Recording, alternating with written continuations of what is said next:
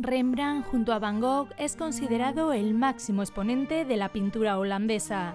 Rembrandt, a diferencia de muchos de sus contemporáneos, alcanzó ya cierta fama a temprana edad, y una de las características de sus trabajos es el uso del claro-oscuro con fuertes contrastes y el dramatismo de sus escenas, donde intenta adentrarse en la comprensión de la naturaleza humana. En total pintó alrededor de 600 obras, entre las que abundaron los retratos, en los cuales no solo se preocupa de los rasgos de las personas retratadas, sino también de sus ropas y de los muebles de la habitación. Un buen ejemplo de ello es su obra Retrato de marido y mujer, que caracterizó su primera época.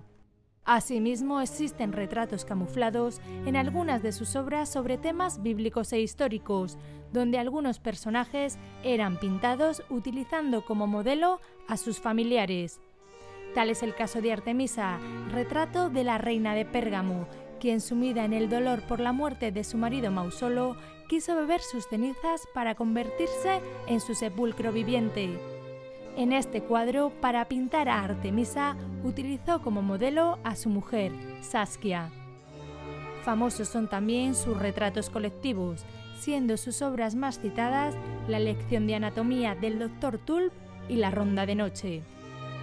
Otra característica que distingue a Rembrandt son los autorretratos, alrededor de 60, lo que le convierte en uno de los artistas que más obras de este tipo ha realizado. Para admirar alguna de las obras de este artista holandés, nada mejor que visitar el Museo Casa de Rembrandt, donde además se pueden ver recreaciones de las habitaciones en donde solía pintar o dar sus clases, y se exhiben obras de quienes fueran sus maestros y trabajos de algunos de sus discípulos.